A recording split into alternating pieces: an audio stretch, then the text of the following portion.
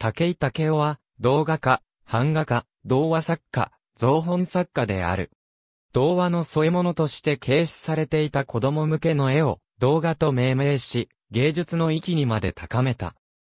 竹井武雄の動画は、大胆な構図や、幾何学的な描線によって、モダンかつナンセンスな味わいを感じさせ、残された作品は今もって古びていない。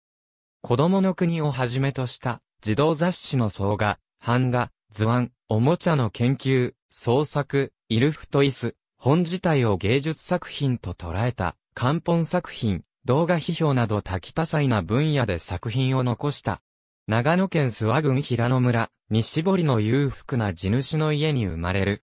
竹池は、諏訪藩で恩中御将を代々務め、藩の御用の傍ら、私塾を開き地域の子供たちの教育に熱心に取り組んだ。竹雄の父慶一郎も平野村長を務めるなど、地域に貢献した人物であった。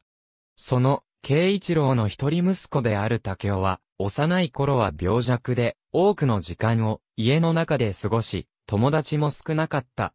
そこで、空想の中に、妖精ミトという友達を作り出し、童話の世界で一緒に遊んでいた。この経験は、生涯、竹井の中から消えることはなく、動画を描く原点になったのではないかと言われている。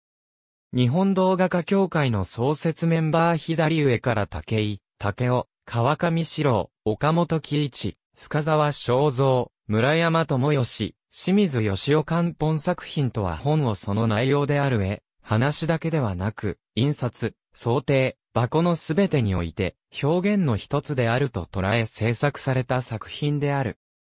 それゆえに、作品ごとに、その想定が異なり、そのこだわりは、紙の繊維を得るためにパピルスを栽培したというものまで、ある。その美しさから、書物の芸術、本の宝石と呼ばれる。当初は、豆本としていたが、42号以降が、漢本作品とされている。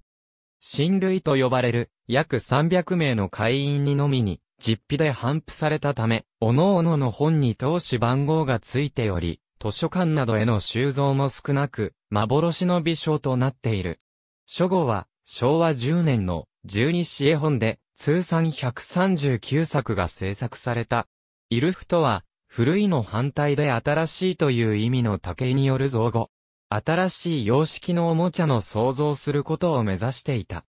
他多数、イルフ動画館、竹井竹雄聖火の長屋門元禄11年のお柱祭りの年に、一家で留守をしている時に火災に遭い再建したと言われている。